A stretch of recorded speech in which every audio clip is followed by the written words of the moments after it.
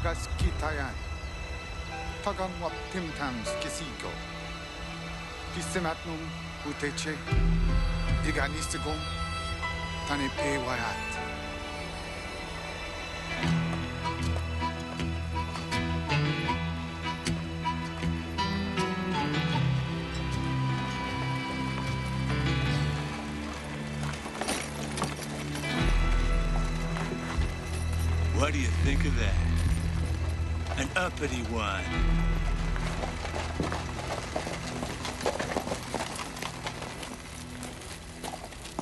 State your business, Redskin. Let me pass, sir. Proper gentleman, eh? Why'd you steal the wagon? Get off. It's mine. I said, get off. Walt, this isn't necessary.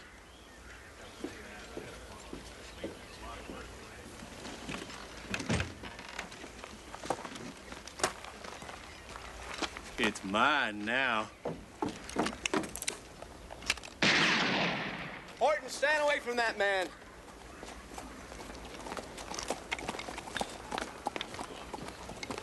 What's this about? We were just having a discussion, Corporal. Well, that's not what it looked like to me. That's all it was. I could jail you, Horton. Uh, we'll let the matter lie. I have no desire to pursue it. All right, go about your business. You press charges, Mr. Jay. John Jay. No. White men hate Indians. I doubt that two days in jail would change that. Are you Corporal Clive Bennett? I am. You're the man I came to see. I have something here that I want you to look at. Read these documents, Corporal. Bordertown is about to be returned to its rightful owners, the Cree Nation.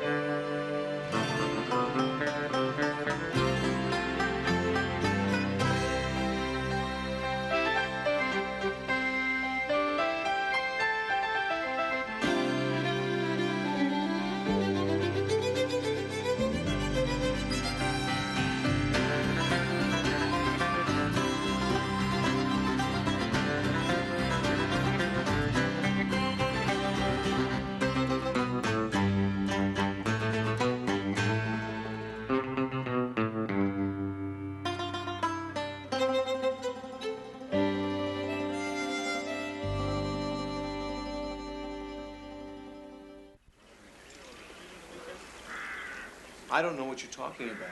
This land belongs to the Dominion of Canada. In 1874, negotiations were concluded between Her Majesty's government and several tribes over this territory here. An agreement that neither party had the right to make. I'm gonna need more time to study this. Certainly. I've waited years for this. I can wait a few days more. Uh, Corporal, could you, uh, Of course.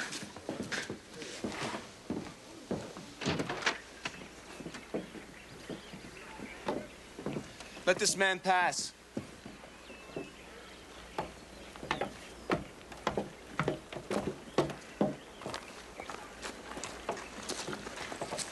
I heard what that Indian said in there, Corporal. My land belongs to me. What are you gonna do about it? I don't know yet. I haven't had a chance to read the charges. Read. Don't waste the time. Just run him out of town. Clear out of here, Booth. And the rest of you go too. get out of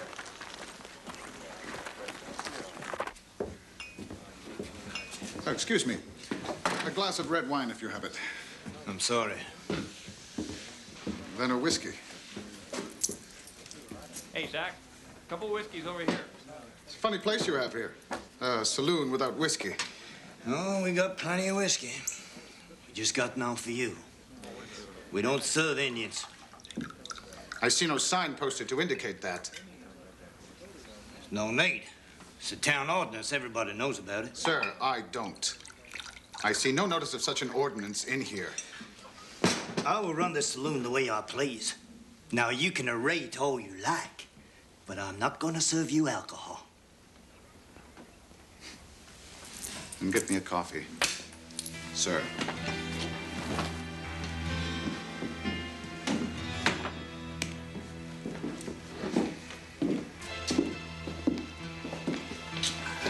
Afternoon, Redskin. Let's have a look at that wampum bag there. Hmm? Your friend has done a good job. He's appeared to be in order. Are his charges valid? I would say so. The Wood Creek Band was not represented at any treaty meeting. Yet the Canadian government now owns their land. In your experience, what do you think his chances of victory are? I hope your government is holding high cards.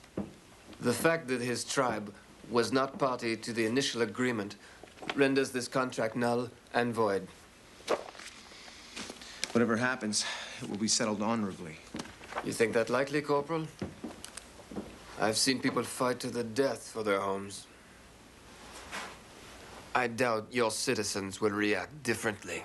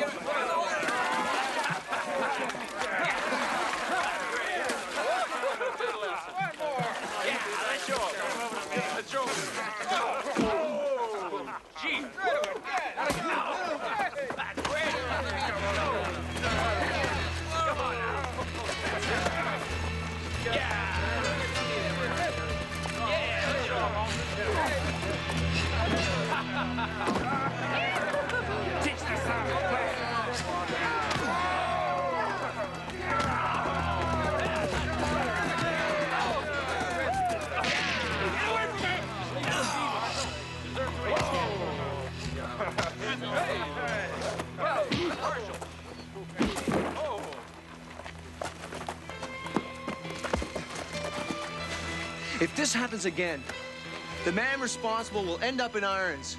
Yeah, he's only drunk. Do you hear me? Let's go! Come on. Get him out of here. Move along. Move. I'm sorry. Corporal, these people are going to lose what they believe to be theirs. I can understand that. Listen, we're gonna sort this thing out. I've sent for my superior officer, Commissioner Stewart, and he should be here soon. Now, I need to speak with you. Let me clean myself up first. We'll meet in there in an hour.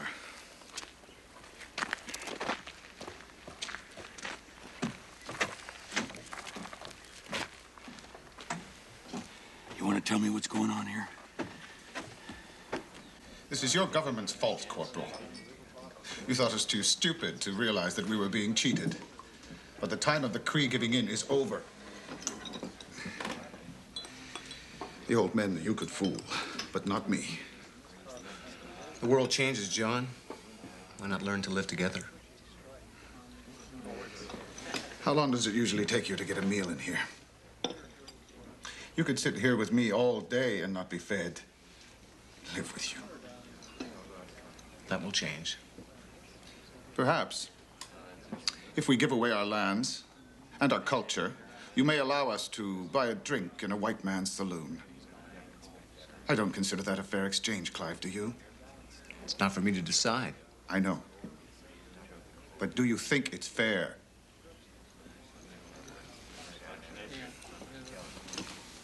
We've been waiting for some food over here, Zach.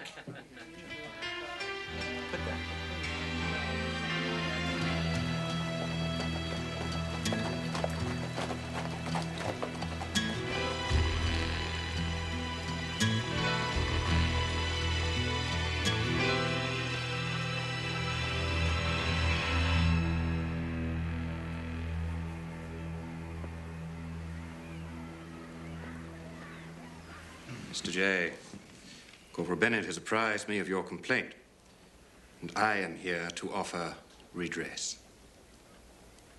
I have in my possession full compensation for the land your band once held. This is a promissory note for $25,000. Sign, and it's yours. Sir, you were in no position to claim ownership. We did not negotiate that land away in the first place. That matter is not up for discussion. It most certainly is. John, we are offering you what is owed. No, you're not, Corporal. What is owed to me and my people is the land between the American border and Drumheller. Not this.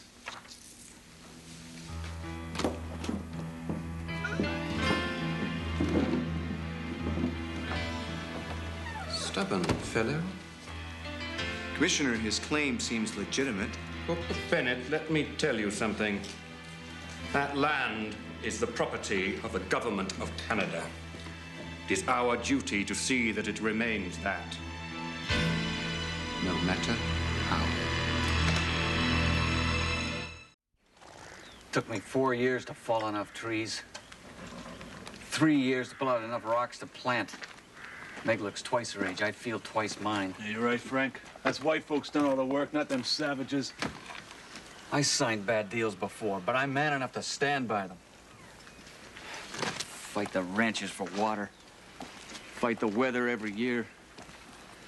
Still, it's mine.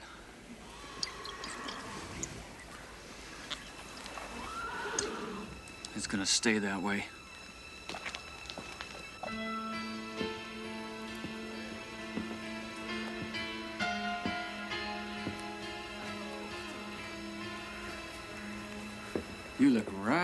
Pretty, Redskin.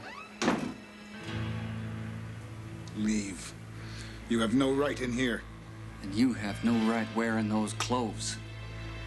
Get them off you.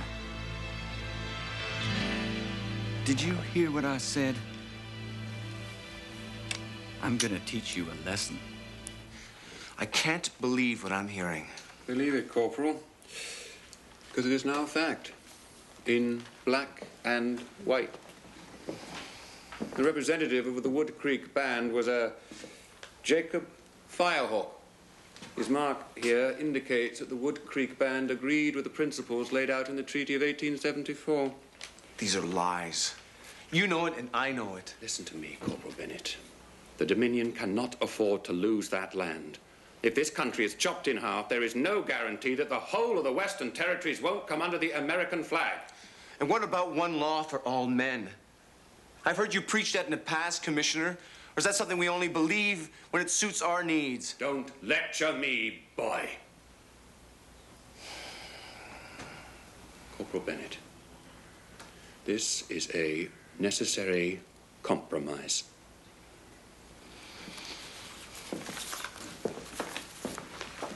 It stinks.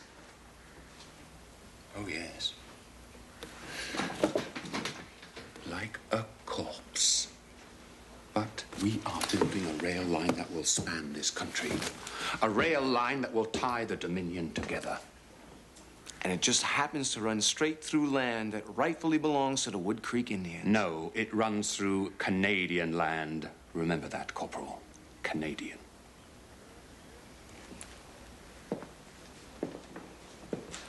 I take it as my responsibility to inform Mr. Jay of the facts. No.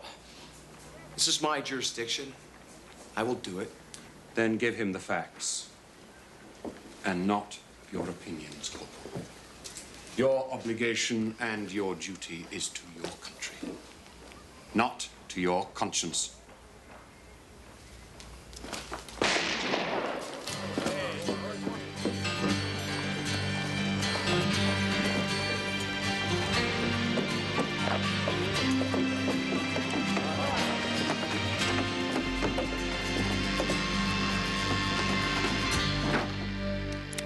Hard to tell the savages sometimes, isn't it, Corporal?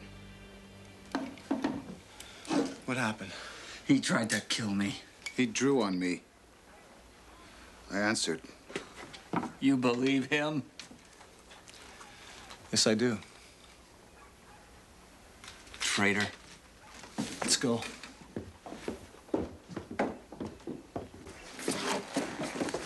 Bree, you want to take a look at this man? He will be in the cell. Why don't you go live with him, Bennett?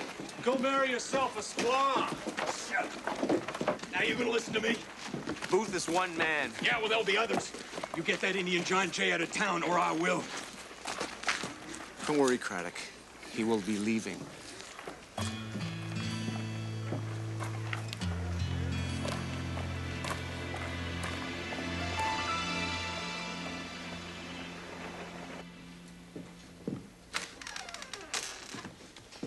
How is he?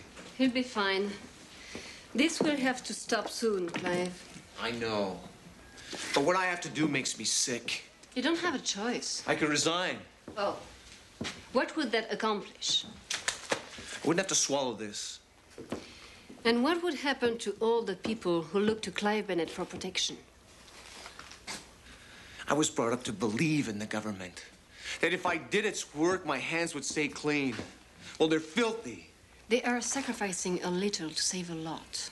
I know from medicine that sometimes that is necessary. What kind of country is built on lies and dishonesty?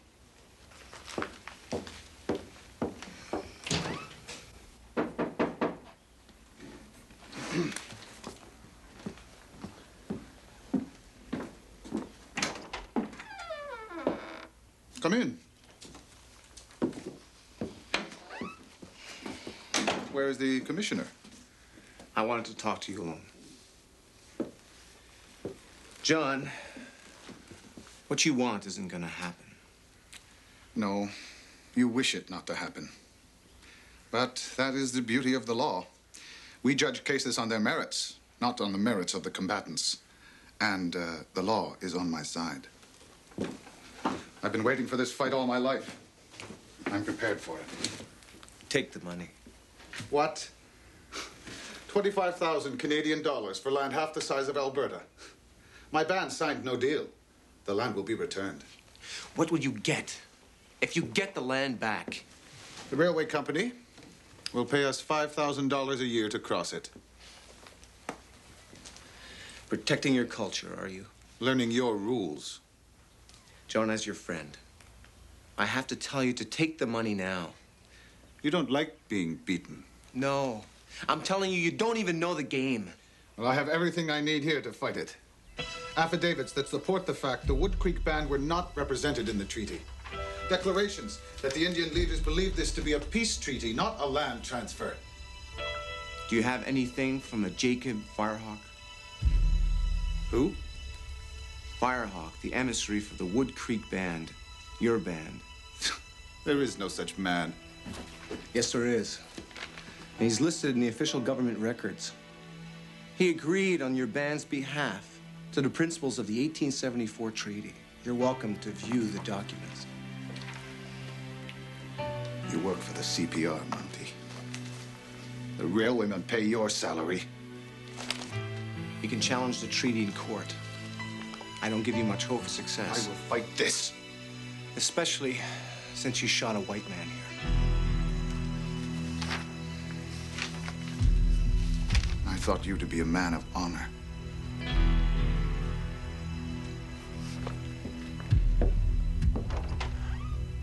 So the superior Canadians cheated, huh? I doubt your country's record is much prouder, Marshal. I didn't say it was correct, just necessary. John. This is the way you see us. No, I don't. The elders were right. This is the only way to fight you. We will meet again.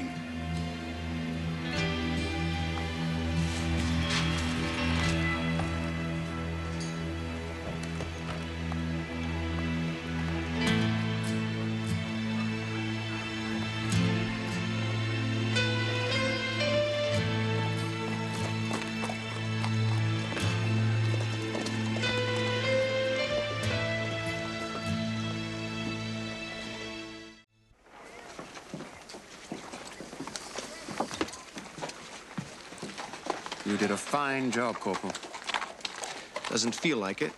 When you see the railway come across this country, you'll feel differently. Is it over, Mr. Stewart? There'll be no more problems, I assure you. Our farms are safe? From everything but drought. You have a fine corporal here.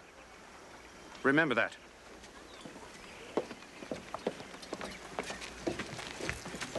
Corporal, Later, Bruce. You've gotta understand. I worked my guts out to clear that land. He was after everything I owned. Everything all of us own. This used to belong to his people. Your farm, this office, all of it. Corporal,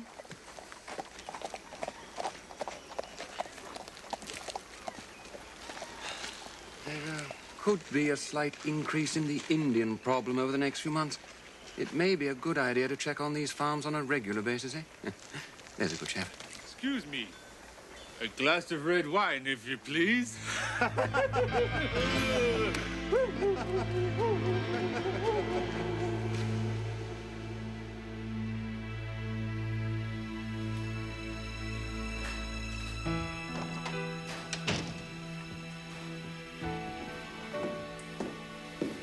Clive, I was wondering if you would like to have dinner.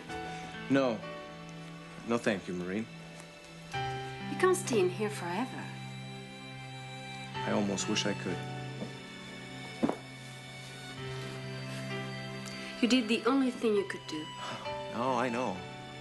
For the greater good, for the country. Then accept it and go on. Clive, you won't change the world. Maintiens le droit. What did you say? To maintain the right. It's the Mountie motto. It's funny how you can do your job without being true to it. You kept the peace. That's part of your job, too. Commissioner Stewart's recommending me for a commendation. He says I displayed conduct becoming an officer. What's that supposed to mean, Marie?